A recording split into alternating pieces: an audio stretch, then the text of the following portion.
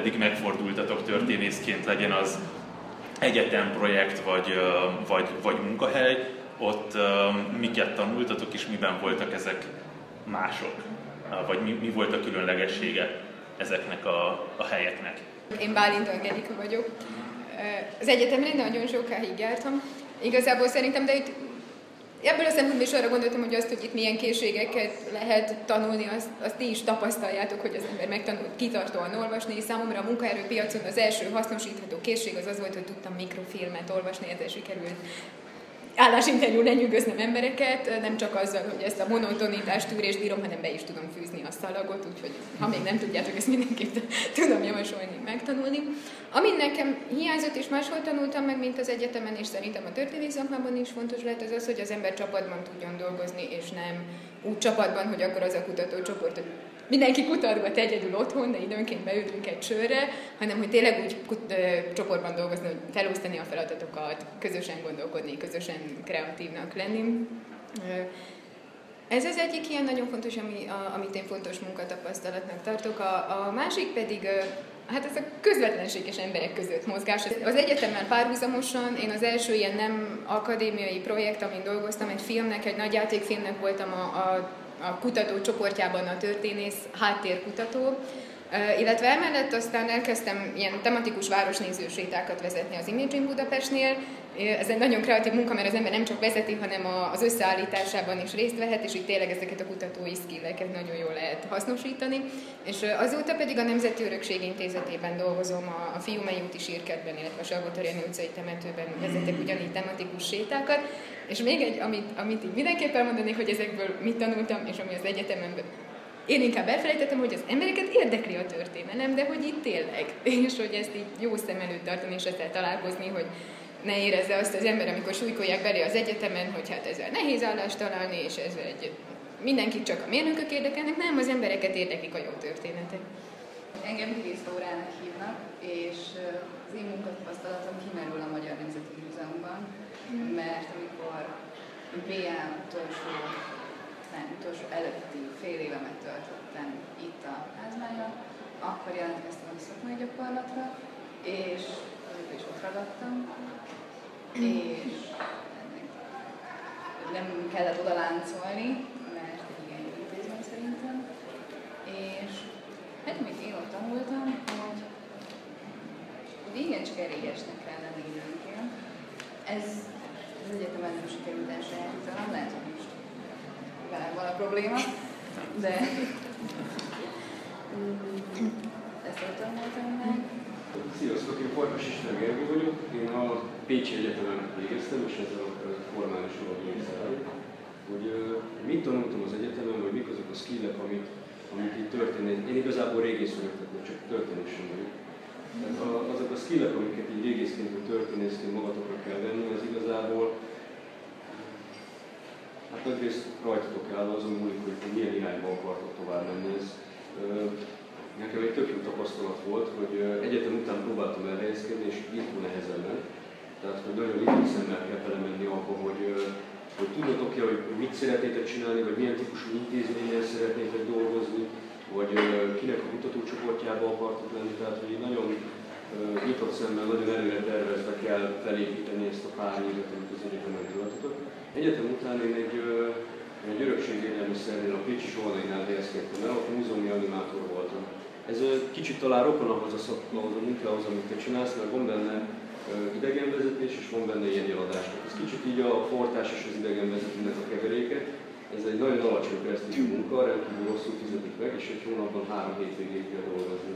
Tehát sajnos így önerőből az egyetem után ez volt az első, ami sikerült amilyen skillek kellettek itt az az, hogy, hogy amit te is mondtál, hogy az embereknek felhívni a figyelmét a történelemre. Tehát ezt, meg tudom erősíteni, hogy tényleg rengeteg mindenkit érdekel a történelem, rengeteg tévkoncepció van, ehhez, ehhez kell a, a felül korábban idézett türelem, de alapvetően, hogyha valaki emberekkel akar foglalkozni, akkor ebből vagy ebből az irányba érdemes elmenni, mert erre hatalmas nagy igény van. A, a következő munkája az egy informatikai cégnél volt, egy projektmenedzser voltam, és itt igazából ami bölcsészként jól jött az az, hogy tudtam nyelveket, hogy tudtam szövegeket világosan értelmezni, hogy tudtam egy szakmai hátteret adni. Ez egy történelmi rekonstrukciókkal foglalkozó informatikai cég volt, szintén Pécset, ez a Pazink Informatikai Kft. Nem tudom, hogy hallottak-e róla.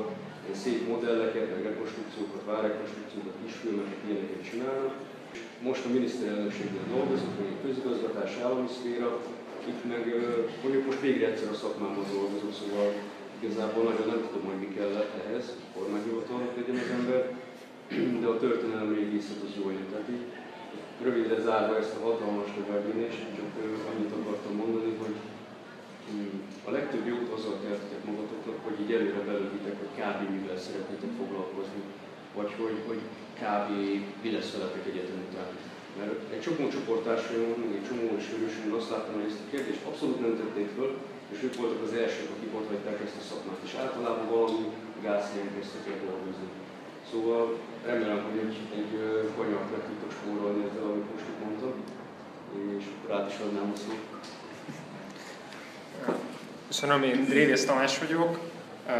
Én most jelenleg doktorandusz hallgató vagyok a Bécsi Egyetemen, és a, a, ide is ki van írva az MTA-nak ebben a lendületkutató csoportjában dolgozom. És egyébként teljesen egyetértek azzal, amit mondtál. Szerintem is nagyon fontos, hogy nagyon korán eldöntse az ember, hogy körülbelül milyen irányba szeretne elmenni. Én ebből a szempontból szerencsés voltam, hogy nagyon korán eldöntöttem, hogy én történész akarok lenni. És tulajdonképpen két olyan, vagy négy, de két, két csoportba osztottuk, négy olyan hely volt, ami, ahol szerintem nagyon sokat kaptam. Én is az eltére jártam, de nem az ELTE volt ez a hely, hanem az egyik az, az egy civil szervezet volt, ahol nagyon sokat dolgoztam, Kutatódiákok Országos Szövetségének hívták, és az volt a lényege, hogy olyan diákokat gyűjtött össze, akik már középiskolás korban elkezdtek valamilyen tudományos dologgal foglalkozni. És ami az érdekes volt benne, hogy a nagy többsége ott az embereknek az természettudós volt, vagy mérnök. Hát relatíve kevés bölcsész volt, és még kevesebb történész. És a másik ilyen hely az pedig egy szakkollégium volt, a, Matthias Corvinus kollégium, ahol pedig az emberek többsége jogász volt, közgazdász, nemzetközi kapcsolatász, tehát hogy ott is történész nagyon-nagyon kevés volt. És ezen a két helyen az volt az érdekes, hogy ott én olyan közegben mozogtam, ahol olyan embereknek kellett elmondanom azt, hogy mivel foglalkozom, akik nem ebben a közegben éltek, és akiknek a, ez a történészi problémakör, ez adott esetben érdekelte őket, de hogy nem, nem ez volt az életük. És szerintem ez, vagy, vagy én abban a szempontból hálás vagyok ezeknek a közegeknek, hogy szerintem viszonylag ott tanultam meg azt, hogy hogy lehet azokról a dolgokról beszélni érdeklődőknek, akik, hogy, hogy ők azt megértsék, és az érdekes legyen, úgy, hogy ők nincsenek benne a szakmában. Tehát, hogy ne, az ember nem menjen teljesen, vagy ne vesszen el teljesen ebben a nagyon belső szakmai beszélgetésben. És az abból a szempontból szerintem érdekes hosszú távon, tehát nem csak, nem csak úgy általában jó, hanem azért is jó, mert történészként, meg hát gyakorlatilag az összes ilyen szakmában, azért az emberek egy, jelen, emberek egy jelentős időben olyan emberekkel kell kommunikálni, és olyan emberek döntenek mondjuk a pénzekről, hogy ő kapja vagy nem kapja, akik nem biztos, hogy történészek, vagy mondjuk valami más irányban érdeklődnek, vagy mondjuk olyan embereknek ír könyvet, mert ezt nem csak történészek fogják megvenni jó esetben, hanem olyanok is, akik ugye nem ebben dolgoznak. És a másik terület, az pedig a, amikor én külföldön tanultam, most a Bécsi Egyetem előtt két, két helyen tanultam külföldön, Berlinben és Londonban, és mind a kettő az egyrészt a, az idegen nyelvek miatt volt fontos, tehát hogy azt megfelelően jól bírjam, illetve ugye ott, ott picit ugyanez a történet lépett föl, csak egyfajta ilyen nem, nemzeti különbség, mert hogy az ember ráeszmélt arra, hogy mi az, amit érdekesnek tartottak külföldön a magyar történelemről, és mi az, ami mondjuk én a unikálisnak gondoltam, pedig nem unikális, és egyáltalán hogyan működnek a más tudományos közegek, tehát hogy mi az, ami hasonló, mi az, ami a különbség, mik az előnyeik, mik a hátrányaik, mi a különböző megközelítéseknek a, a, a vagy mik, az, mik a szempontjai. Mondtad, Tomi, hogy viszonylag hamar eldöntötted, hogy történész leszel, és aztán valahogy, mintha szinonimaként szerepelt volna a történész és a kutató. A történész és a kutató szerintetek mennyire szinoníma, mennyire feltethető meg egymásnak, mi a különbség, mi a viszony a kettő között? Én kutatótörténész értelemben használtam a történészt. Um, szerintem nem száz százalékig, tehát hogy, hogy az a fajta klasszikus, amire én gondoltam annó, hogy az ember kvázi vagy egy egyetemen dolgozik, vagy egy tudományos kutatóintézetben. Tehát a kettő, azt gondolom ez a, ez a fő irány, vagy a mainstream, de egyetlen kizárólagos. Egyetlen. Többiek, akik nem egyetemen és nem kutatóhelyen dolgoznak? Én, én azt gondolom, hogy itt ak- akkor akár a kutatót is lehetne definiálni, de nem akarok itt nagyon nyelvészeti problémákba belemenni, de én azt gondolom, hogy ha csak nem úgy definiáljuk a történészt, hogy tud évszámokat, akkor mindenképp hozzátartozik a kutatós, mert én például nem tudok évszámokat. Tehát, hogyha az ember nem is egyetemen tanít, vagy akadémiai intézetben kutat, hanem mondjuk az ismeretterjesztő vonalon dolgozik, vagy egy ilyen kicsit nem tudom milyenre a jó szó, kevésbé hardcore közegben kutat, akkor is kutat. Tehát, hogy ez a tevékenység, hogy információkat keresünk és történeteket állítsunk össze, ez a történetséghez hozzátartozik. Szerintem akkor is ezt nem kutatóintézetben csináljuk. Én ezt nem felejtettem mondani, hogy én múzeumpedagógusként dolgozom a, a múzeumban, és ennek is szerves része az, hogy utána kell nézni annak, hogy mi van a múzeumban, és, és a tárgyakról, meg a legfrissebb publikációk szerint kell beszélni mert előfordulhat az, hogy valamit közben teljesen másképp gondolnak. És nyilvánvalóan ezt elmondani. Ez nem olyan, hogy az ember kijön az egyetemről, és akkor valószínűleg egy kutatócsoportból, valószínűleg egyetemre fog bekerülni, biztos, hogy nem. Viszont az is igaz, jó, valószínű, hogy nem. Viszont az is igaz, hogy tehát bármilyen munkát csinálsz történészként, hogyha marginálisan a szakmádra maradsz, akkor az biztos, hogy valamennyi időt rá kell szállnod a szerencsés vagy munkaidőben, a kevésbé szerencsés munkaidőt kívül arra, hogy szinten tartsd magad abból a, a tudásból, amit tehát, hogy napra készített tartsd magad abból a tudásból, amit a szakmádban is felhasználsz. Tartani kell a lépést, és ez nem mindig, nem mindig egy hálás feladat, hogyha az ember egy munka után hazaesik, hogy akkor még álljon neki szakcikket olvasni, de ez sajnos benne van a pakliban. Viszont ha itt vagytok, akkor valószínűleg érdekel benneteket a történelem, szóval valószínűleg annyira nem lesz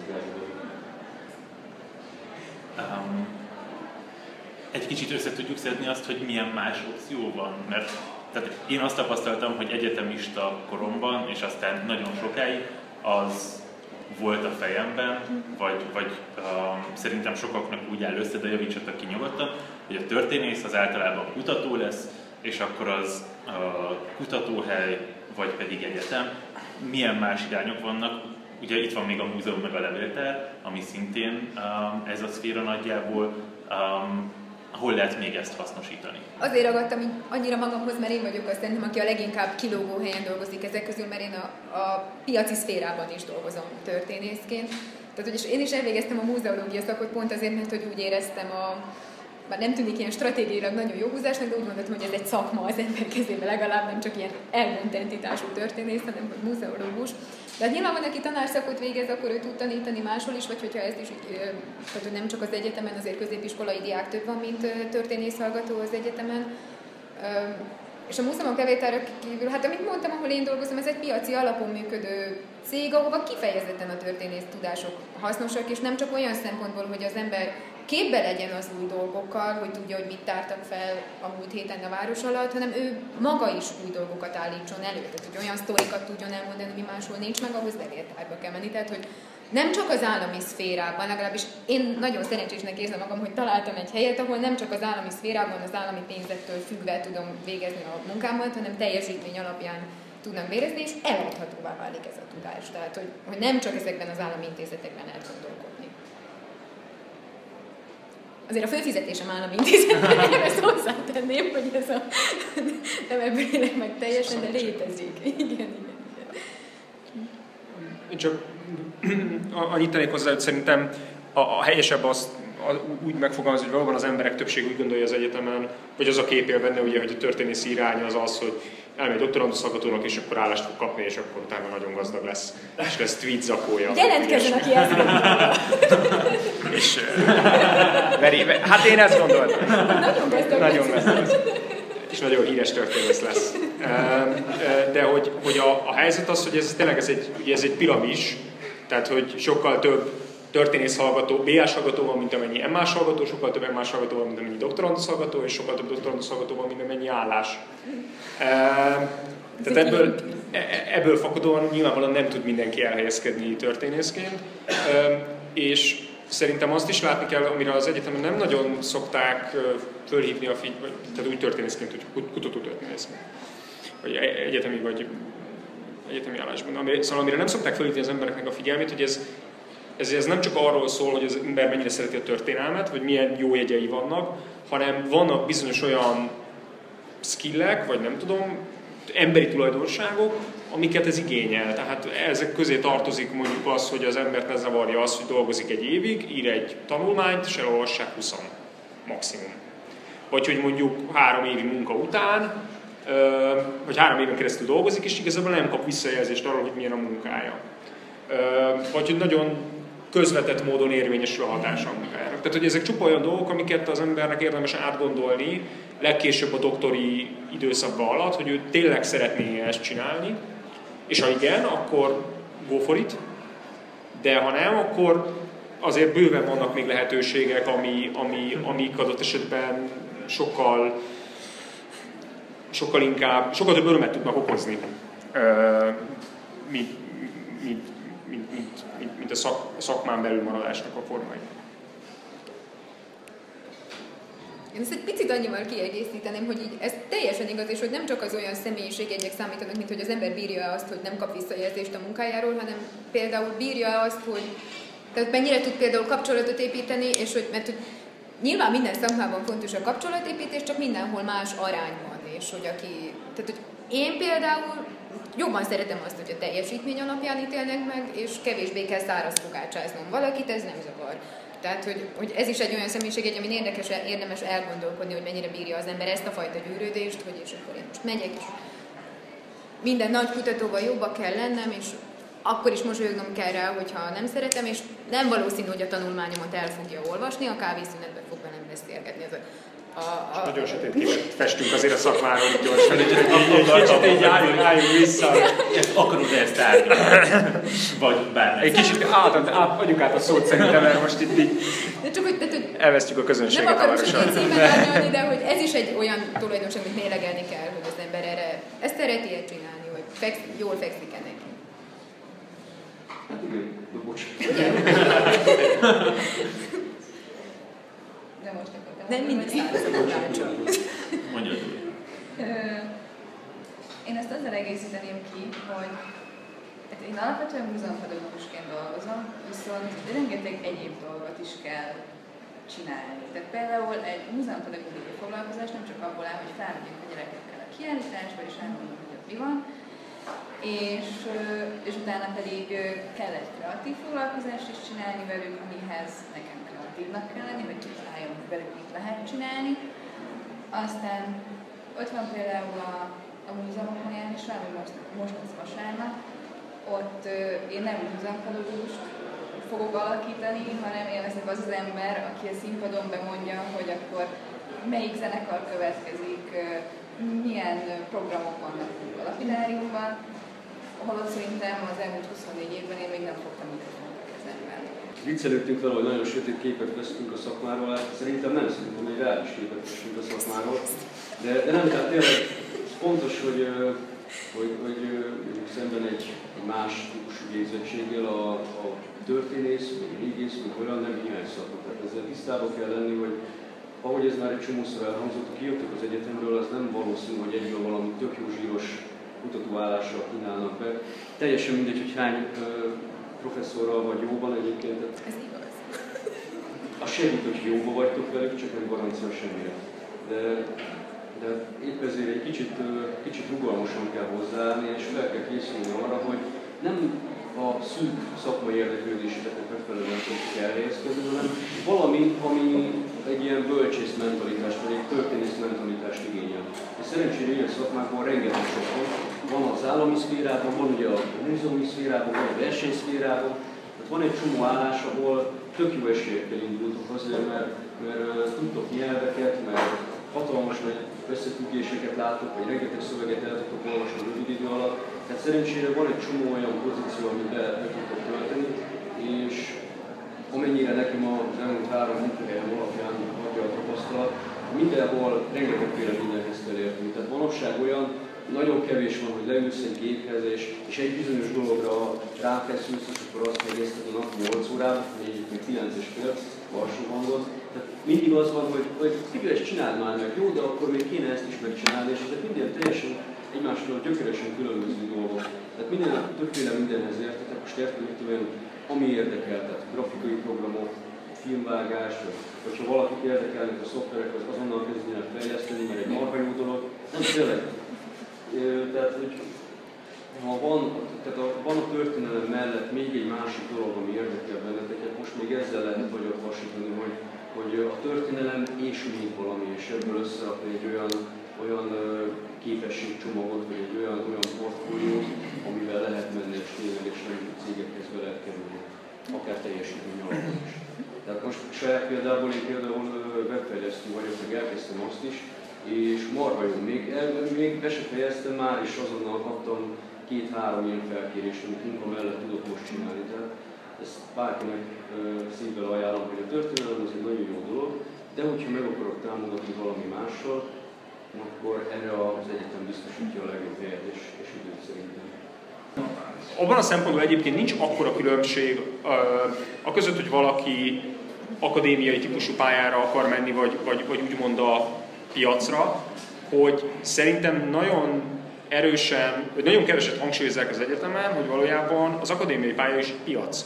Kicsit mások a szabályok, kevésbé érvényesül a direkt verseny, tehát abban az értelemben, hogy az embert mennyire a képességi alapján veszik föl, de azért nem annyira szörnyű a helyzet, tehát hogy, hogy abban az értelemben, hogy szerintem akkor van az embereknek esélye érvényesülni ott, hogyha viszonylag korán kitalálják, hogy mi az a piaci rés, ahova az ő tudásuk, amivel ők foglalkoznak, az jó és alkalmas és be tud törni. Tehát, hogy egész egyszerűen ez a területhez is racionálisan kell hozzáállni, és be kell azt látni, hogy mi az, amit én tudok, és mások meg nem tudnak, vagy nem nagyon tudnak, vagy kevesen tudnak. Most nem azt akarom javasolni mindenkinek, hogy kezdjen el Hitlerrel, a dinoszaurusszal, meg a cápákkal foglalkozni, mert az érdekli az embereket, de hogy, hogy, hogy mondjuk úgy, úgy írni a doktori dolgozatot, mondjuk, hogy az ember tudja, hogy az melyik, hogy, hogy az hova fog betalálni, mi az a terület, amivel még nem nagyon foglalkoztak, valószínűleg érdekes, vagy érdekes lesz, és mondjuk csak én beszélek románul, vagy én beszélek szerbül, vagy én beszélek franciául. Az, az nem valószínű, de hogy e, tehát, hogy mi, mi, a, mi az, amiben én többet tudok, mint a többiek, és majd szükség lesz rám. E, és most csak egy gyors, rövid példát. Nekem a legnagyobb készségem, amivel eddig a legtöbbet tudtam, pénzt is keresni a legtöbbet tudtam, az az volt, hogy tudok magyarul. Mert hogy ö, magyarul nem olyan sokan beszélnek, még kevesebben vannak a történészek, akik beszélnek magyarul, és még kevesebb olyan történész van, aki beszél magyarul, és külföldön van, és beszél angolul is. Tehát innentől kezdve a Magyarországgal, az, hogy én, az, hogy én Magyarországgal tudok foglalkozni, az a lajtának a túloldalán már érdekessé tesz. Itt, itt, itt meg inkább azt tesz érdekes, hogy tudok, tudok németül, sok Ausztriával foglalkozni. Tehát, hogy, hogy ez, és, ezt, és ezt, ezt, át kell gondolni az embernek, hogy, hogy mik azok a dolgok, ahova, ahova így, így be tud találni, és ezt viszonylag racionálisan kell átgondolni, azt gondolom. Tehát, hogy... Amikor azt mondod, hogy ez egy piac, akkor arra gondolsz, hogy itt a, a saját magadat adod el a szakmán belül, vagy arra gondolsz, hogy a, a diszertációdat, vagy a saját témádat lehet majd hasznosítani úgymond a piacon. Tehát, hogy ez csak a szakmában működik, vagy pedig azon kívül is. Azon, Tehát... azon kívül is. Tehát a kettő, a, kettő, a kettő össze is függ. Tehát, hogy, hogy a másik saját példát mondjam, én 1009, én a, a polgári demokratikus forradalom, vagy hülye szórán, mindegy, szóval a Károly kormány és a tanácsköztársaság hadsereg szervezésével foglalkozom, abból írom a doktorimat, azt hasonlítom össze Ausztriával. Tehát ezt a két évet. És amikor én elkezdtem ezt a projektet, az 2013-ban volt, 13 vagy 12-ben valahogy így, és én akkor már azért azt nagyjából sejtettem, hogy mire ebből doktori lesz, én végezni fogok, az pont a száz éves évforduló környékén lesz. Ami azt jelenti, hogy ha ez a doktori nem arra van kihegyezve, hogy meg lehetett volna menteni Magyarországot fegyveres erővel, de a téma az olyan, hogy nagyon remélem, hogy egy év múlva lesz belőle egy könyv, ami ez, ezzel fog foglalkozni, mert hogy ezt most majd el lehet adni. De ha én ezt öt év múlva írnám meg, akkor már nem lehetne eladni. És uh, nyilván itt, itt ez egy picit vegyes történet, mert a, szak, a szakmának, tehát az a tíz ember elolvasná öt év múlva is. De azt gondolom, hogy most, tehát a szakmális hatással van az, hogy viszont még 200 elolvasná ezen kívül, vagy még 1000, vagy nem tudom, 1000 nem hiszem, de 200. E, tehát, hogy, hogy szerintem ez a kettő összefügg, ezt nem lehet igazából szétválasztani. E, ami a nagy közösséget érdekli, az jobban érdekli a szakmát is azokban a helyzetekben. Um, itt említette a, egy másik mondatodba kapaszkodnunk be, bele, azt mondtad, hogy, azt mondtad, hogy, vagy valami hasonlót, hogy hamar eldöntötted, hogy történész leszel, vagy kutató leszel, vagy valami hasonló. Nektek volt ilyen döntés, vagy, vagy volt ilyen tudatos irány, vagy mikor formálódott ez ki, és mi volt ez? Hát, igazából én is nagyon korán eldöntöttem, hogy régész szeretnék lenni. Most mondhatom, hogy óvodában már, de, de tényleg, tehát, hogy így nagyon régóta vonzott ez a kötárkör, nagyon sokat olvastam már egyetem előtt is, tehát hogy, hogy ez nem egy ilyen máshol nem kerültem be típusú dolog volt, hanem én is összeülök adtam neki. És, és amit mondtál, azt még kiegészíteném azzal, hogy igazából az is egy tök jó taktika lehet, hogyha most az egyetemen körbenéztek, hogy milyen kutatócsoportok vannak, hogy kik mivel foglalkoznak, és valahogy az ő munkájukat megpróbálni segíteni, vagy valahogy valakihez megpróbálni társulni, mert amit mondtál, az működik, hogy hogy találni egy tök jó témát, és akkor utána egy tágabb piaci alapon elhelyezkedni, de ami még jobban működhet, az az, hogy találni, tehát megnézni, hogy milyen kutatócsoportok vannak, megnézni, hogy neki konkrétan milyen emberre van szükség.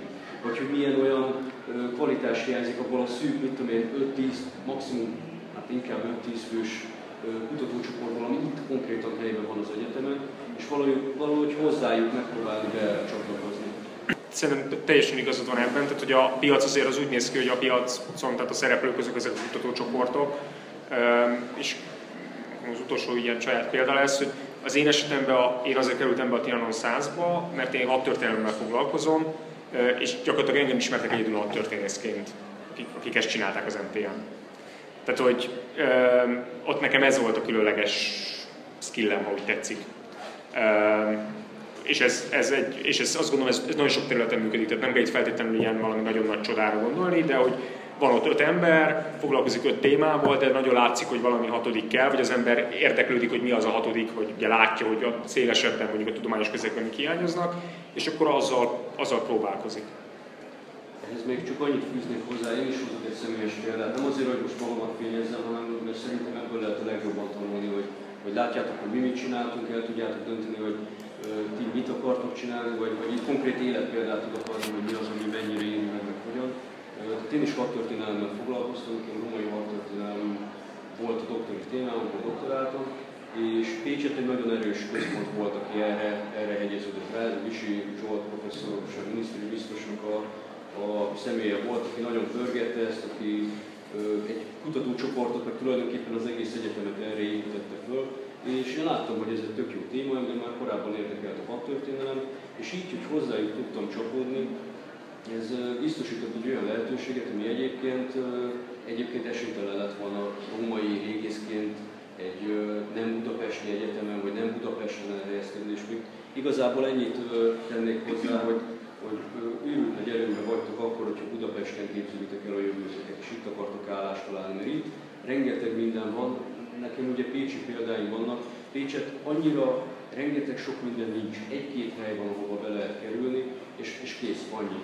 Budapesten meg azért itt cégekből is rengeteg van, intézményekből is sokkal több van. Tulajdonképpen még ezt akartam hozzáfűzni. Én adnék egy kis reményt azoknak, akik már óvodás korukban nem a levéltár volt a lényük, hanem vannak ilyen kétségeik, vagy nem így születtek, hogy kéziratokat olvastak, mert hogy én mindig is irodalomtanár szerettem volna lenni középiskolában egészen érettségiző koromig, és sok, sok szerencsés véletlen volt az, ami, ami inkább a történelem felé orientált engem, és egészen már csak emás hallgatós koromban találtam meg az én profilomat, hogy várostörténettel szeretnék foglalkozni, és ha ekkor találja meg az ember, az sem késő a lényeg, hogy megtalálja, mert hogy a, abban teljesen megerősíteném a két fiút, hogy onnantól kezdve, hogy meglett ez a ez, a, ez az irányzat, hogy én várostörténettel foglalkozom, minden egyes állásomat ez hozott. Tehát, hogy a filmhez úgy kerültem, hogy Budapesten játszódik a film, egy várostörténészkel, nyilván az, az Imaging Budapest ez ott nagyon-nagyon adja magát, és ezt hozta magával a másik állást is, hogy, hogy, hogy én a várostörténettel tudok foglalkozni, és erről van ismeretem. Tehát, hogy nem, nem baj, hogyha ha tényleg nem már kisiskolás korotokban ezt képzeltétek el, a lényeg, hogy megtaláljátok egyszer. Hát ezt én is meg tudom erősíteni, mert én a BN műfterin végeztem, és, és másodévben gondoltam úgy, hogy már pedig nekem történelemmel már kell mennem, és onnantól kezdve meg hát, leginkább a turisttárgyaimra koncentráltam, és, és akkor másodéves koromban döntöttem el azt is, hogy én múzeumban akarok dolgozni, és a gyakorlatára egyébként tök jó lehetőség volt. És utána meg azt, hogy azt hogyha kitaláltatok, hogy mit akartok csinálni, és hol, akkor ezt viszont ö, extrém lelkesen kell csinálni, mert ez másképp nem fog menni. És, ö, és ez benne van az is pakliban, hogy akkor viszont minden más félre kell dobni, mert hogy a nap 24 órából áll, és ö, azért, mert az ember 8 órát dolgozik, és utána még ö, egyetemre is jár, és még szemináriumi dolgozatokat is kell írnia, az igen nehezen fog menni, hogyha az ember nem elég lelkes hozzá. Most vesztettük el a közönség felé. Um, um. Közös, közös erőfeszítés. közös, volt. közös, közös, közös erőfeszítés volt, um, de azért nem, vagy nem, nem gondolom, hogy úgy beszéltetek, vagy beszéltünk róla, hogy ez valami negatív dolog. Um, de kifizetődő? Nem biztos, hogy az új zakó a, a fő dolog, de vagy az a, a cél, meg a, a Porsche. Um, Az már megvan. ez már megvan. Um, hogy látjátok ezt a helyzetet? Mert szerintem ez, egy, ez is egy nagyon fontos kérdés um, a szakmán belül is. Most, bocsánat, de most anyagilag Most kérdezem? anyag- most anyagilag kérdezem. Jó, csak hogy, tehát, hogy Részben anyagilag kérdezem, um, azért azt gondolom, hogy itt nagyon sok szempontból van pro és kontra. Uh, tehát, hogy nem, nem az az, iPhone. az anyagi az egy szempont BKV-val a írjuk. sokból. De én kapok bérletet a munkahelyemen. Egy kicsit adnék reményt itt mindenkinek itt a 24 órás dolgozásban, hogyha az ember, tehát hogy nyilván olyan témát kell találni, amire úgy érzitek, hogy van igény és eladható, de azért olyan témát választatok, amit szerettek, mert akkor nem fog gondot okozni az, hogy ezzel napi 24 órát kell foglalkoznotok, azt fog gondot okozni, hogy nem foglalkozhatok 30-at. Azt így ö, 30 évesen mondom nektek, hogy azért mi- mindent ne dobjatok félre, tehát hogy azért az embernek az élete az nem csak a, a munka, és itt a kifizetődéshez itt azért ilyen szinten kapcsolódnék, hogy egyrészt türelmesnek kell lenni, de ezt a türelmet nem szabad sokáig húzni. Tehát, hogy nyilván, amikor az ember kijön az egyetemről, vagy még ki sem jön az egyetemről, akkor nem olyan állások fognak az ölébe potyogni, a, a, amiből porsét vesz. Tehát, hogy tud lenni egy átmeneti időszak, amikor szimbolikus összegeket ajánlanak fel a munkáira, amit végeztek, és itt meg kell fontolni azt, hogy megtehetitek-e azt, hogy elvállaljatok, és hogy tanultok-e belőle, szereztek-e belőle akkor a tapasztalatot, hogy mutat-e olyan jól az életrajzból, hogy ezt elvállaljátok szinte nulla pénzért, mert akkor utána azt mondhatjátok, hogy igen, de én nem csak az egyetemen dolgoztam, ezt is ezt már leraktam az asztalra, mert egy kezdőnél sajnos ez benne van a pakliban, hogy nem fizetik meg jól, viszont túl sokáig ezt sem szabad húzni, tehát amikor már két éve nem fizetnek a munkátokért, akkor hagyjátok ott azt a munkahelyet, így ezt tudom javasolni. Tehát, a, ezért a kifizetődésért is türelmesnek lenni, és nektek is tenni kell érte, nem szabad minden munkát ingyen elvállalni egy bizonyos pont után. Mert a történészek erre szerintem hajlamosak, hogy örülnek, hogy felléphetnek, örülnek, hogy tanulmányt írhatnak, és hogy eszükbe sem jut, hogy pénzt kérjenek valamiért. Ha már, ha már raktatok le valamit, az asztalra nyugodtan kérjetek pénzt érte. Vagy igen. Igen, ez a piaci szemlélet marha jó, hogy te, te már úgy állsz hozzá, hogy hát igen, ez is tudás, ez, ez egy szolgáltatás, amikor ezt be lehet árazni. Ez sajnos nem, nem mindig egyértelmű, de tényleg ezért ezt lehet kérni. És amúgy ugyanezt tudnám elmondani, amit te mondtál, hogy, hogy türelmesnek kell lenni, de nem túlzottan, és igazából el lehet jutni arra a szintre, amikor már így nem, nem gáz az a fizetés, amit kaptok. Tehát ez, ez, ezt most pozitívan mondom, hogy, hogy simán az átlag nettó 250-et ezt lehet hozni, csak ehhez idő kell, és nagyon, nagyon tudatosan kell felépíteni, hogy merre mentek. Tehát ez, ez sok szempontból nehezebb, mint mondjuk egy sikerszakmába elmenni, és őrült nagy pénzeket nem lehet belőle húzni, tehát nincsenek ilyen kiugróan nagy spike a fizetésben. Viszont, hogyha, hogyha nyitott szemmel mentek bele, és tényleg olyan dolgokra koncentráltak, amire van piaci igény, akkor elég hamar el lehet jutni arra, hogy, hogy, hogy megkeressétek azt az átlag, átlagot, amit, amit a magyar átlag. Szóval mondtam.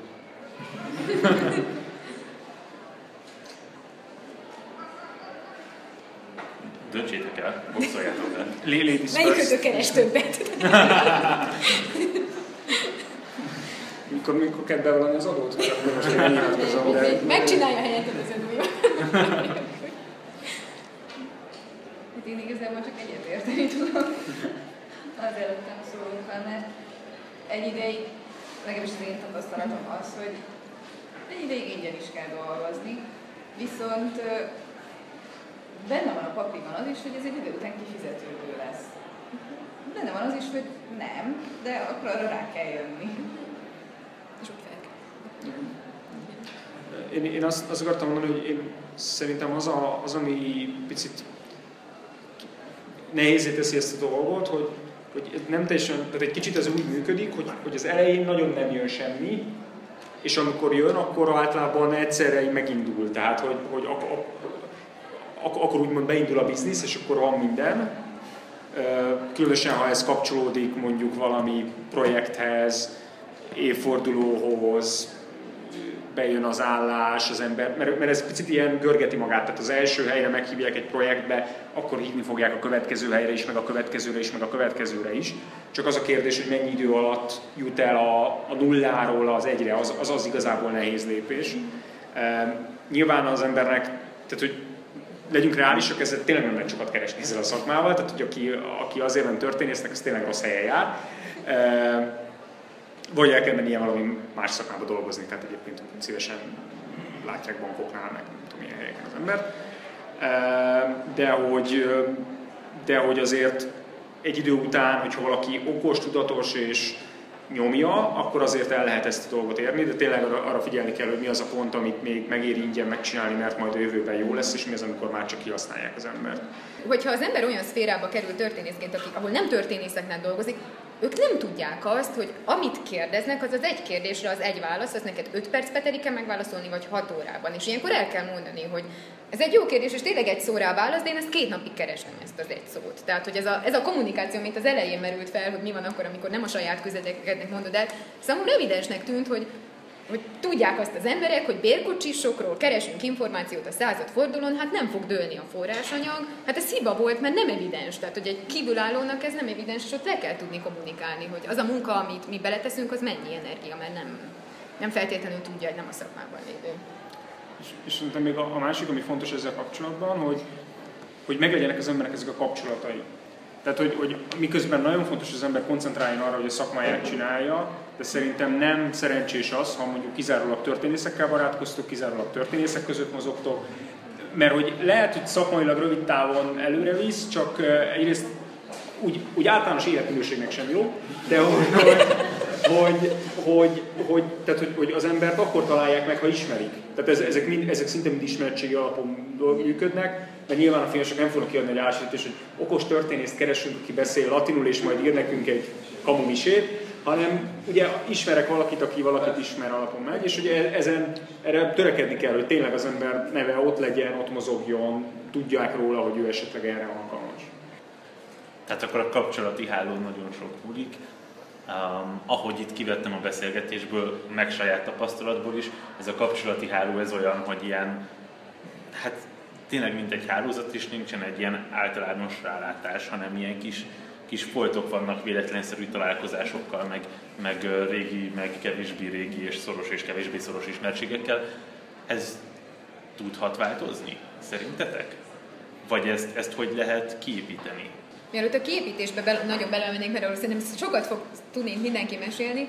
Tudta, tudom, hogy már így a 24 órátokat beosztottuk a munkára, de én itt egy plusz feladatot adnék azon kívül, hogy építitek a kapcsolati hálót és forog a nevetek, nézegessétek a profession.hu-t is, és a Facebookos álláscsoportokat. Én nekem olyan a, az Imaging Budapestes állásom ajánlásom az úgy lehet, hogy a Facebook hirdetést megálltam egy álláskereső csoportba, és jelentkeztem rá, és behívtak interjúra. Tehát, hogy ez az ág is nehezebben jön össze, és nem lehet csak erre alapozni, de nem szabad teljesen kizárni az esélyét is. Hogyha az ember éppen nagyon álláskereső fázisban van, csinálja ezt is, mert sose, sose tudni, és itt átadom a terepet a kapcsolatépítőknek.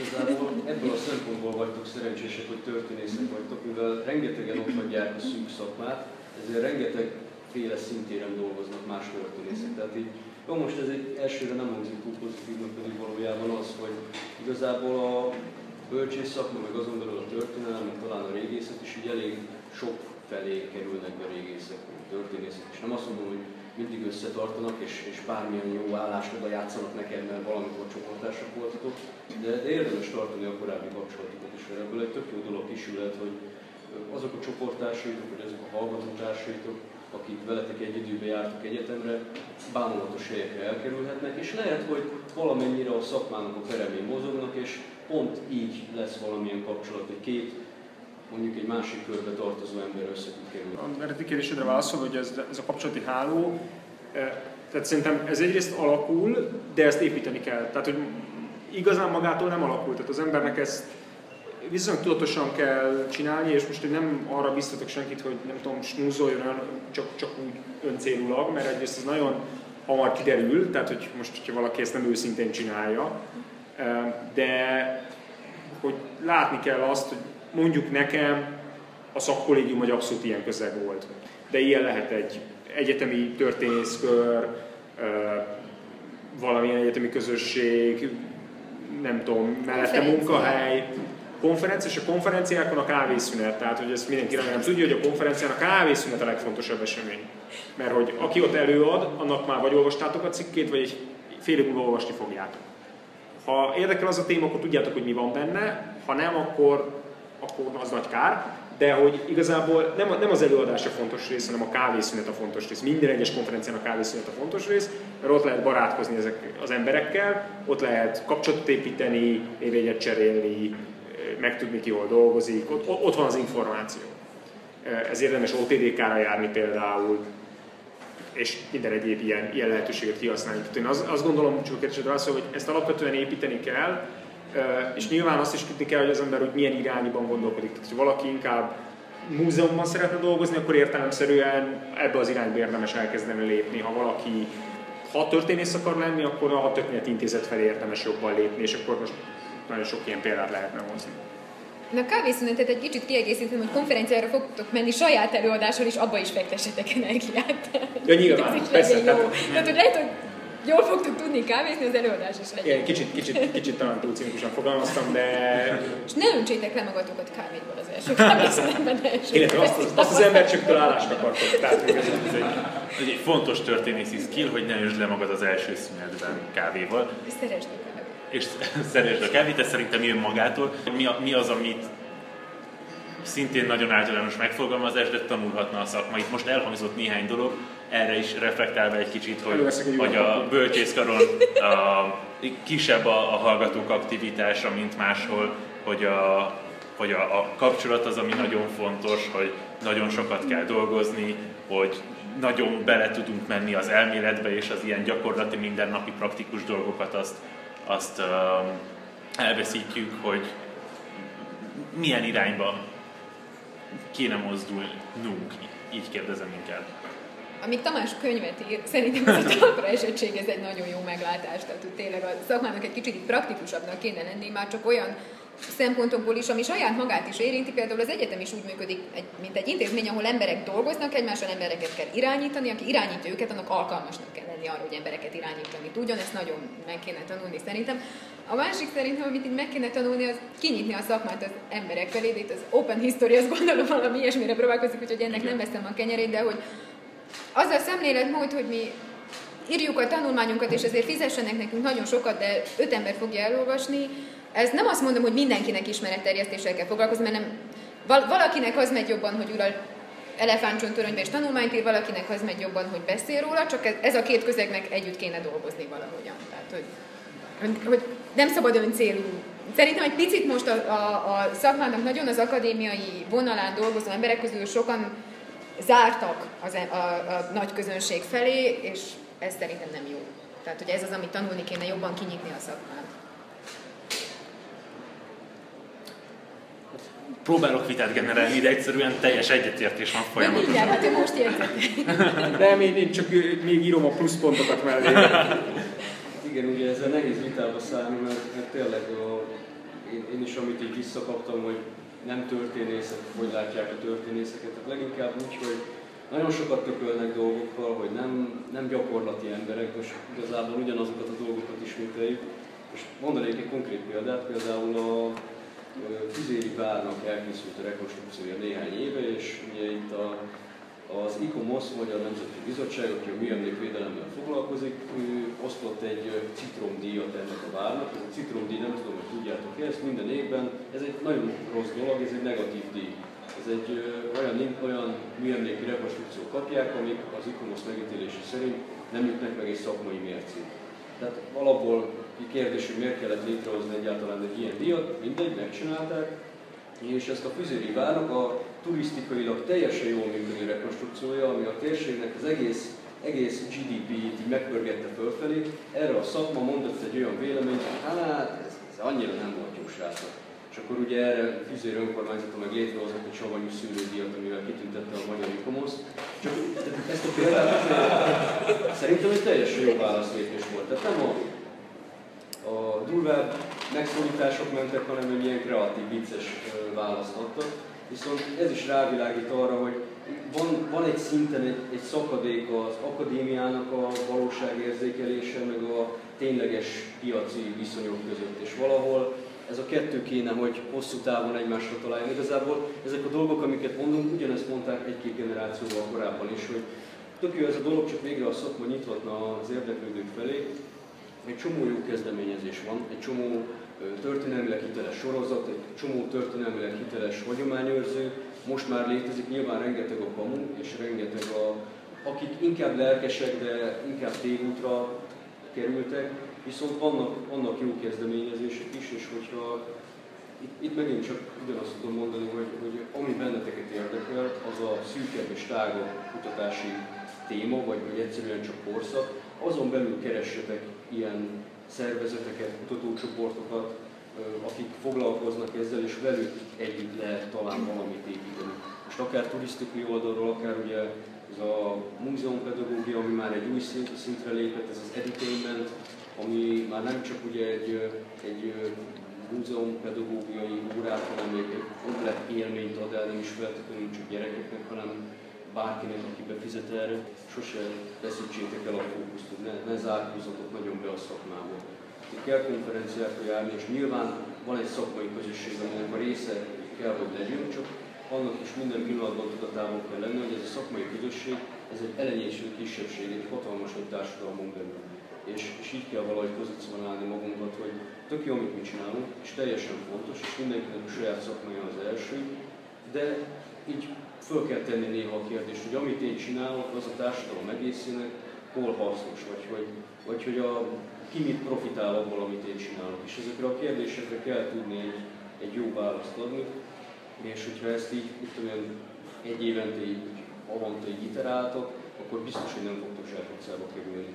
Akkor nem, nem lesz az, hogy, hogy bevállaltak egy olyan projektet, ami, ami mind szakmailag, vagy legalábbis szakmailag, ha nem is, de így abszolút értékben nem, nem, nem, nem jó.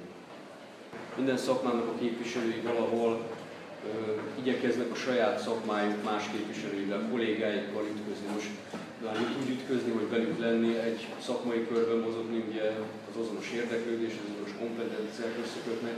Most a magyar társadalomban az egyetemet végzett emberek aránya az még mindig egy nagyon pici arány, és ezen belül a történészeké meg egy még kisebb. Tehát ezért tűnhet úgy, hogy mivel minden, minden egyes szakma a saját szakmabelieivel van, köztük mi is, teljesen elnemítőletű módon, ezért tűnik úgy, hogy bezárkózunk, holott nem mi zárkózunk be, csak egy jóval kisebb körbe vagyunk, mint tudom én, a mint a vízszerelők. Tehát sokkal több pincér, sokkal több más szférában dolgozó ember. Sokkal több jogász mondjuk, vagy orvos, amit az ember sokkal jobban lát, hogy mit dolgozik egy orvos, mert, mert napi szinten szembesül ezzel, vagy a jogásszal, vagy a mérnökkel, ami történik de hát ugyanakkor talán a jogászokra és orvosokra még jobban áll az, hogy hát ők egy külön kasztot alkotnak, amiben ha nem a szüleid nem orvosok be tudsz kerülni, csak picit nehezebb.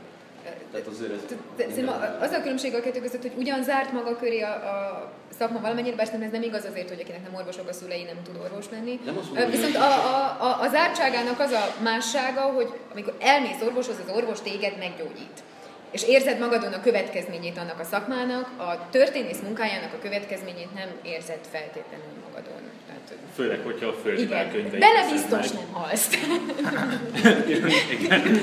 Kivéve ha rossz könyvek. Történészi műhibában nem nagyon halnak meg. Ez, mondjuk, csak, igen, csak két gondolatot. Az egyik az, hogy egyébként azt azért érdemes tudatosítani, hogy mi egyébként baromi szerencsések vagyunk.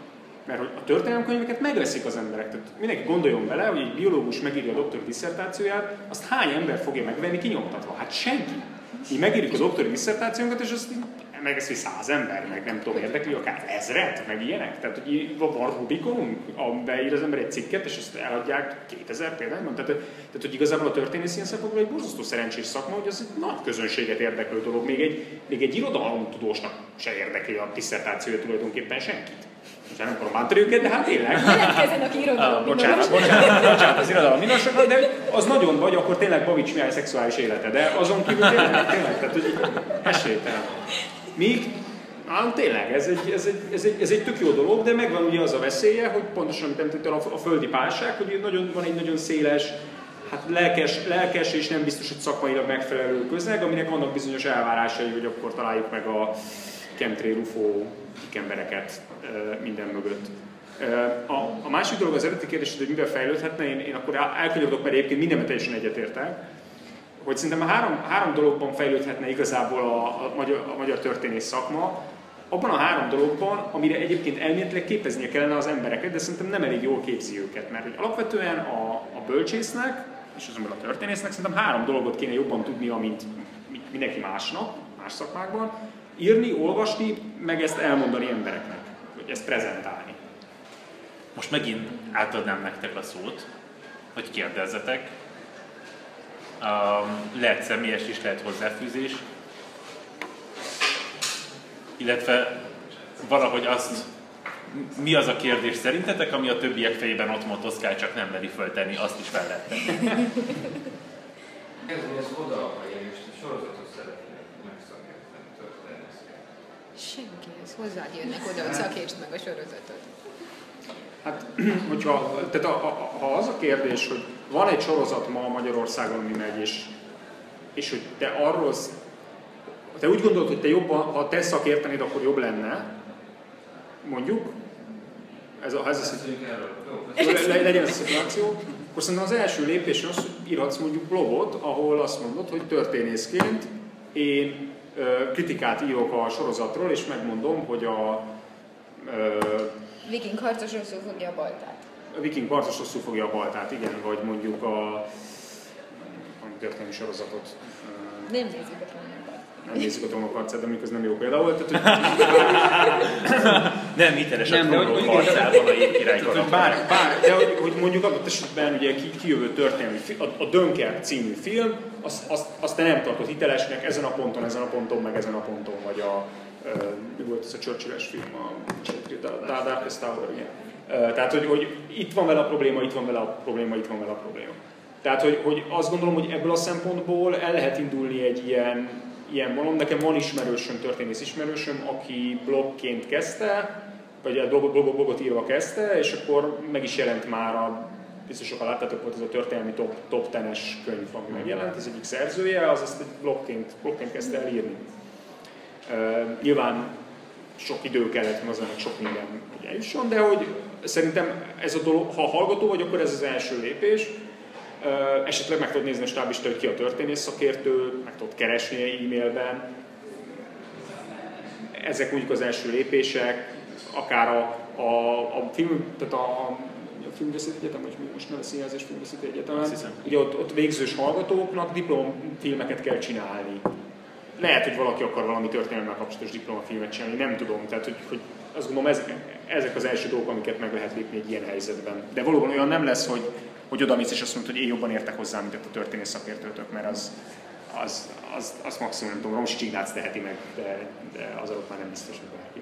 Ez az, hogy fel kell építeni addig. Tehát amit te mondasz, erre van is konkrét példa, egy, egy régész ismerősöm pont az eltéről, a vikingekről írt folyamatosan egy minden egyes részről kijött egy rész, leírt, hogy mi az, ami történelmi nem helytálló, és ezt egy olyan vicces formában csinálta meg, hogy először határtalan régészetbe került, de aztán utána így már ezzel tud túlnézni, hogy, hogy ugye minden történelmi sorozatból ír valamit, természetesen utána megy és kutat, de itt a legfontosabb az az volt, hogy ezt, ezt neked kell elkezdeni.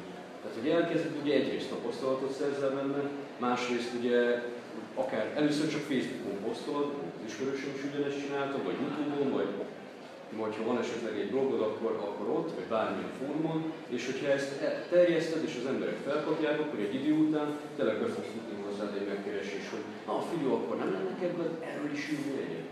Csak, tehát, hogyha ezt felépíted, akkor egy éven belül el lehet jutni addig, hogy írni valami komolyabbat róla. Szerintem. Azért szerintem ez az egy év lehet, hogy három. Jó, de... ez egy év ez lehet, hogy tehát ezt most nem igen, tehát, hogy... az ismerősöm egy év alatt jutott el addig, hogy, hogy akkor ők már megkérték, hogy csinálni egy ilyen elég és közben jó az, hogyha ezzel a témával, tehát tudom én, hogy maradjunk a vikingeknél, mert valamiért ez nekem becsípődött, tehát hogyha a vikingekről írsz kritikát, akkor jó, ha a saját kutatási témád is kapcsolódik ehhez. Tehát, hogy egyébként legyen egy szakmai teljesítmény is mögötte, amihez úgy oda tudnak nyúlni, hogy ő nem csak blogot ír, hanem egyébként tanulmánya is jelent meg ebben a témában, vagy öt éve foglalkozik egyébként a viking harcosokkal, tehát hogy, hogy a kettő együtt tudjon jól működni, hogy, mert hogy igen, és, tehát, bocsánat, csak mondom, hogy és, és azért sok ilyen szféra van, tehát hogy, hogy vannak a számítógépes játékok, amit rengetegen játszanak online, World of Tanks, World of Warships például, aminek ugye nagyon erős történelmi vonatkozásai vannak, azok történelmi hajók mennek jobbra-balra, nemzetközi, ráadásul ez nemzetközi történet mind a kettő, de most rengeteg ilyet lehet mondani, tehát hogy nem csak filmekről lehet kritikálni, játékról, annak a hátteréről, és az ember úgy nézegeti, akkor mondjuk azért az ilyen angol nyelvű YouTube csatornáknak, hát nem hiszem, hogy milliók nézik, de hogy azért ilyen ezres nagyságrendekben megnézik. Most nem biztos, hogy Magyarországon így nyilván a nézőszámokat el lehet érni, de akár még az is lehet, hogy igen, tehát hogy így szerintem vannak, vannak azért területek, amiket, amikkel lehet próbálkozni. Amit, amit, amit korábban elhangzott, szerintem az igaz, hogy ellentétben az ember mondjuk közgazdász, ahol a helyzet egyszerű, mert profession.hu és előbb-utóbb fölveszik valahol, itt sokkal több proaktivitás kell, meg kreativitás, meg hogy hívják, de ha szereti az ember ezt csinálni, akkor szerintem ez, ez ebből a szempontból jobb is, mert nem mások mondják meg, hogy melyik excel tolgassa, hanem azt csinálja, amit szeret. Tehát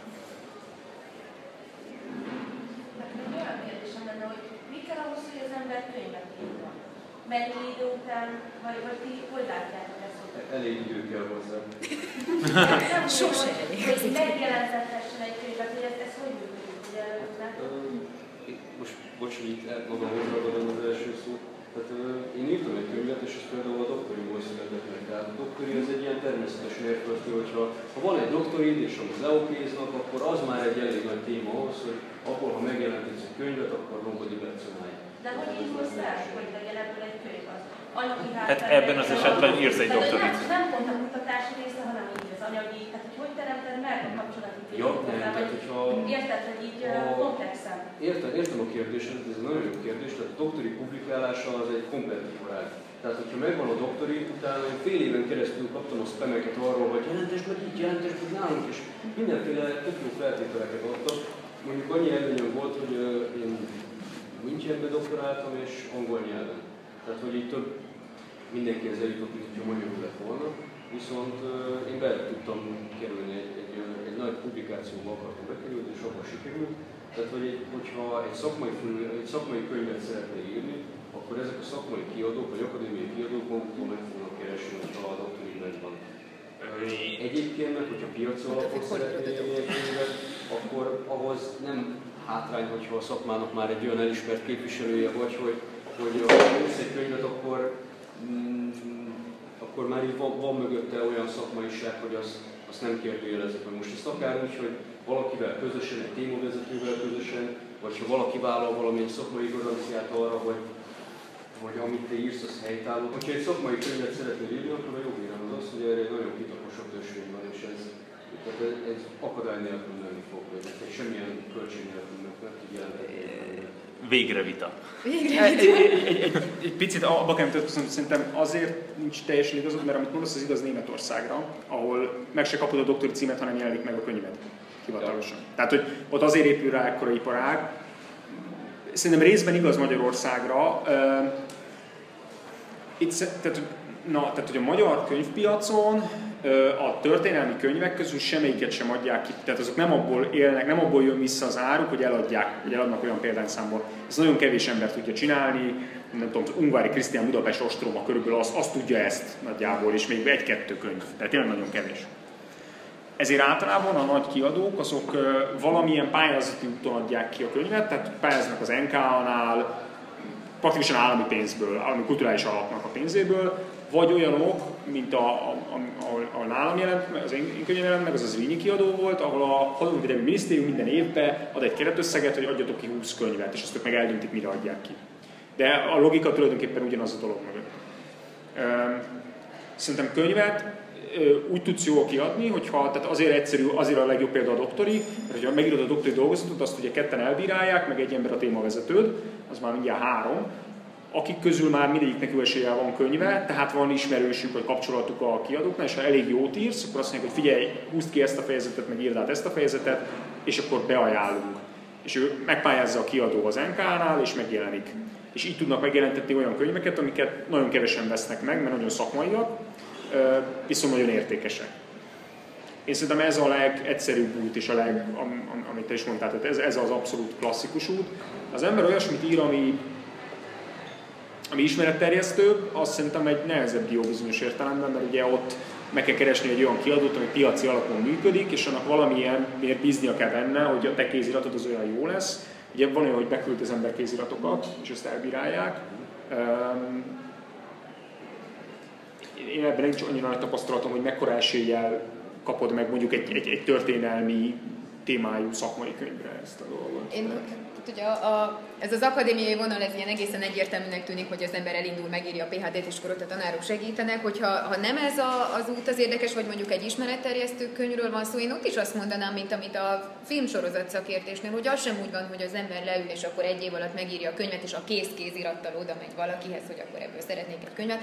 Az ember először tanulmányt ír, vagy először bedolgozik egy projektbe. Most nagyon nagy szájjal beszélek, hogy egy könyvem sem jelent meg, de olyan már csináltam, hogy készülőkönyvben én írtam meg a fejezeteket, és olyat is, hogy, hogy, meg, tehát, hogy nem úgy, hogy nekem van a saját könyvem, amit megírtam, hanem megrendeltek a cégtől egy könyvet, ahol dolgozom, és arra engem kértek meg, hogy megírjam. Tehát, hogy ez is ilyen nem rögtön jövő dolog, mint hogy valakihez oda mész, vagy valaki oda jön hozzá, hanem az ember bedolgozhat, becsatlakozhat projektekbe, ami hoz magával ilyen következményeket, hogy előbb-utóbb ír, ír egy könyvfejezetet. Több, és tényleg nem a könyv az első lépés szerintem ebben a történetben feltétlenül. Hát most egy kicsit egy újabb út. Nekem a életem első publikációja az az MR szakdolgozatom. Ez így nem teljesen igaz, de valóban megjelent könyvként nem egyedül, hanem társszerzővel. Ott annak az a története, hogy a, a hát talán tanulságos lehet az egész történet.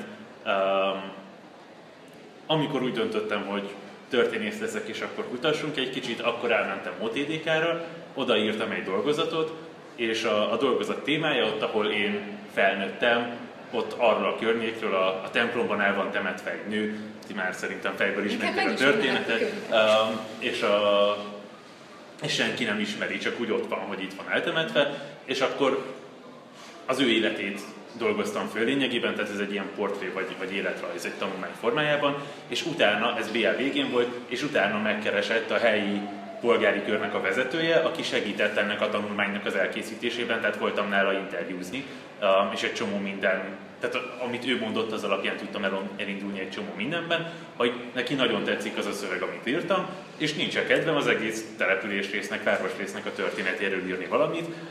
Ez BA utáni nyáron volt, köpni nem tudtam a telefonban nagyjából, mondtam, hogy hát egyedül biztos nem, aztán szépen a, a három év, erasmus a három év master végére azért csak megérlelődött a, a dolog, és van a a, volt, tehát úgy készült a szakdolgozat, hogy volt egy kutatás, abból készült egy könyvkézirat, és annak a mit tudom én, forráskiadás részét, meg a, az ilyen portré részét, meg egy csomó mindent elvettem belőle, csomó minden ellenzést, elméleti részt hozzátettem, és ebből lett lényegében a, a szakdolgozat. Itt ez úgy nézett ki pénzügyileg, hogy a, hát a, a polgári kör vezetője, ez amúgy még a régi klasszik polgári kör, aminek most volt a százvalahányadik születésnapja, a vezetője, ő hát 90 körül járt akkor, és ő úgy mondta, hogy, hogy hát a, volt egy ilyen díszpolgárok találkozója, és azt mondta, hogy ott magam mellé ültettem a polgármestert, és kértem tőle pénzt. Um, és mondta, hogy ad. Tehát, hogy ez még így működött, és akkor így lett pénz a könyv kiadásra. Ebből én nyilván nem, nem igazán láttam semmit se, de lett egy könyv, úgy tudom, hogy a, a nagyjából a kiadott példányoknak a fele az még ott van az iskolában. Um, igen, tehát hogy ez, ez így, így benne van, de van egy ilyen könyv. Ez egy harmadik út, vagy nem tudom, hogy addig sokadik. Igen, és egyébként szerintem az az, az, az igazság benne, hogy azért ilyen helyi önkormány, tehát az ember igényes helytörténettel foglalkozik, akkor abban azért adott esetben helyi szinten bőven lehet pénzt. Nekem is ismerősöm, aki, akit úgy kértek föl, hogy a, megírta a, a szülőfalujának valahogy a monográfiát, és akkor a szomszéd falu mondták, hogy akkor nekünk is kellene. E, és akkor jött a polgármester, ez a nagyon tényleg ez az abszolút izé, hogy akkor, akkor most, hát majdnem, hogy zsákba kapta, hogy akkor itt van, mert hogy ugye egyébként azért egy ilyen könyvnek a megjelentetése nem egy olyan elképesztően nagy összeg egy, egy mondjuk egy településnek a, a költségvetéséhez képest, tehát hogy egy olyan fél millió forintból, egy, egy millió forintból már nagyon szuper könyvet ki lehet hozni, tényleg, és még a szerző is kap valamennyi pénzt. Tehát, hogy, hogy ezek nem akkora összegek, amiből adott esetben nem, tehát, és ez lehet akár valamilyen helyi kör, egyház, egyház megye, nem tudom, tehát hogy itt nagyon sokféle dolog van, ahol azért a helyi embereket érdekelheti az, hogy az ember megír egy ilyen, ilyen történetet.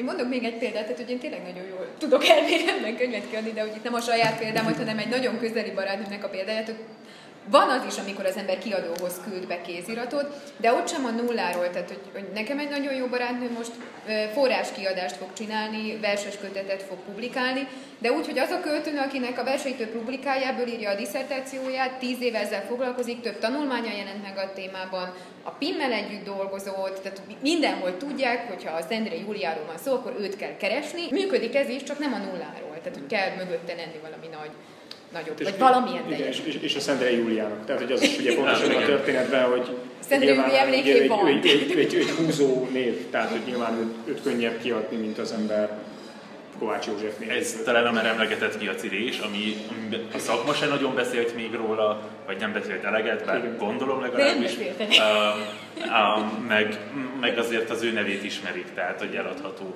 nagyjából. Um, még, még egy kérdésem van így a, a kapcsolatépítés, meg kapcsolati háló.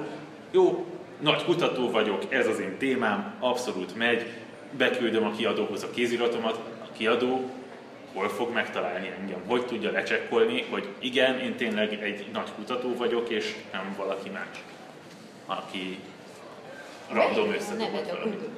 És hol talál meg? Ez a kérdés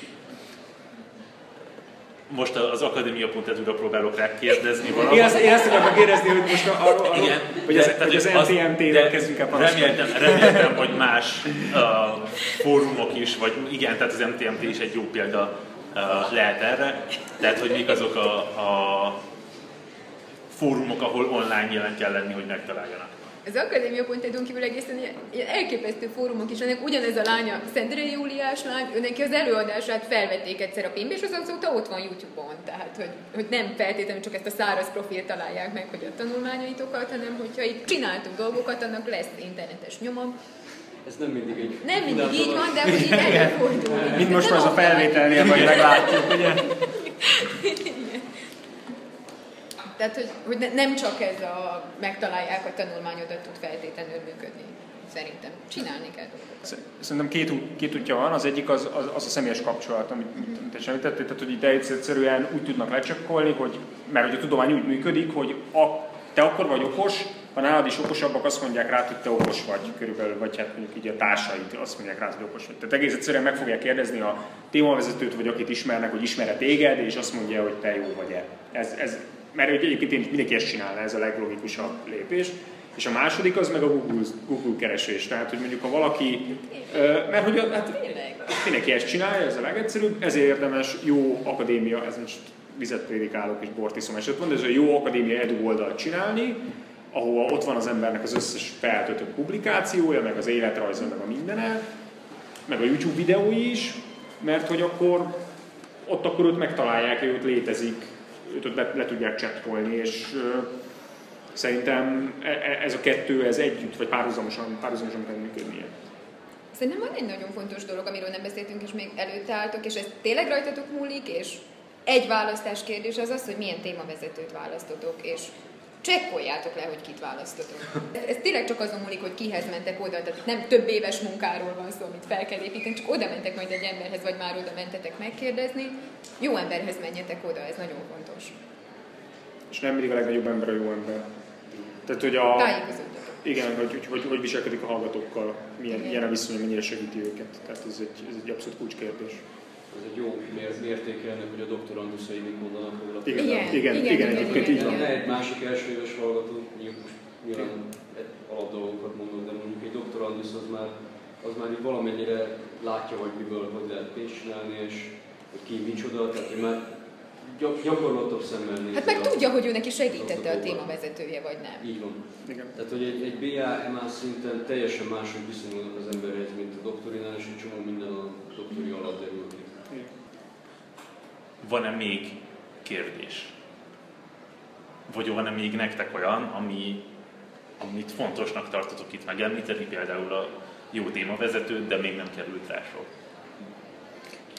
Én még a nyelvtudást, tehát szerintem még az, az arra talán nem beszéltünk, hogy, hogy az egyik, tehát hogy az írni, olvasni, meg beszélni tudáson kívül, az egy baromi fontos kulcskérdés, hogy mindenki nagyon erősen nyomja a nyelv, nyelvtanulást, és az angol az, az, az már az, az egy dolog, de hogy azon kívül érdemes próbálkozni legalább egy valami extrémebb idegen nyelvvel, ha meg tudtok tanulni. Elég ma már csak olvasni és megtanulni, mert ahhoz a Google fordítókkal, a különböző szótárakkal rettenetesen megkönnyül, meg, vagy könnyebbé vált mondjuk így az, hogy az ember el tudjon olvasni más országoknak a forrásait, és hogy te ahhoz valamilyen szinten értesz, és ez Magyarországon unikális, ez egy borzasztó komoly piacot tud teremteni. Nekem van olyan ismerősöm, aki szerintem tíz éve abból él, hogy beszél törökül, meg jár Törökországba, és bármilyen török belpolitikai esemény van, mindig az ő telefonja csörög, és őt hívják be a stúdióba szakérteni, hogy na most akkor mondja meg, hogy Erdogán hogy aludt.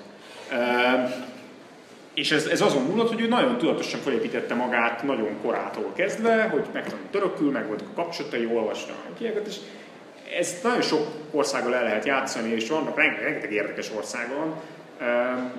És azt látni kell, hogy mondjuk egy, egy angol, egy német, meg egy francia nyelvtudás, ez tök jó, de azért ezek a sokan beszélnek.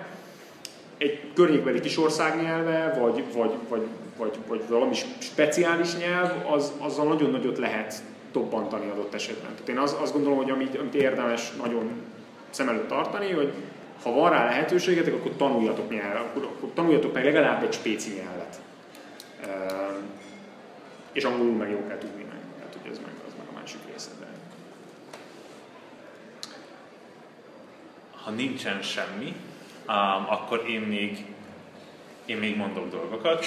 Az egyik az, hogy mielőtt itt lezárnánk a, az egész történetet, um, két dolog. Az egyik Hát nem így készültem rá, hanem csak így betenni lehetőségként, de akkor lehet, hogy ez a lelkem helye, hogy mi, mint Open History foglalkozunk a településkutatással is, és hogyha van, tehát hogy megkeresünk különféle településeket, meg ők minket, tehát mi ott tartunk, hogy meg tudjuk kérdezni most mi Nikivel az ismerőseinket, ismerősi körünket, hogy figyelj, szerintetek erre a témára ki lenne jó, meg szerinted jó lennél belefére, hogy ezt feldolgozz egy tanulmányban vagy kettőben, stb. Na ezt a kört szeretnénk egy kicsit bővíteni. Itt erre az asztalra le fogom tenni ezt a papírt, nevet, e-mail címet rá lehet írni, aki, aki, akit esetleg érdekel ilyen projekt. A másik, az pedig, átadjam a szót neked, most, de, de ne, jó, oké. Okay. A másik, hogy, hogy, hogy most itt beszélgettünk egy jó, valamivel több, mint vagy nagyjából másfél órát. Nem hiszem, hogy teljesen kimerítettük a témát, meg amúgy vannak más témák is, de lehet, hogy ezt egy kicsit kötetlenebb formában érdemes, érdemesebb lenne folytatni, úgyhogy most akinek van kedve, azt szeretettel várjuk itt a, hogy hívják? Cappa. Cappa, igen. Szóval itt lent a, reméljük, hogy van hely kint is, és akkor ott még ezt lehet folytatni. Köszönöm szépen, hogy itt voltatok, hogy ennyien eljöttetek, és további szép estét mindenkinek. Köszönöm, hogy eljöttetek nekem.